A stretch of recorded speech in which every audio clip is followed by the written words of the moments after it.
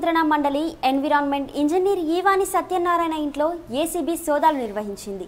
ఆదాయానికి మించి ఆస్తులు ఉన్నాయన్న సమాచారంతో తనిఖీలు నిర్వహించారు ఏసీబీ అధికారులు. విజయవాడలో మారుతి హౌసింగ్ కాలనీ సత్యనారాయణ ఇంట్లో దాడులు చేశారు.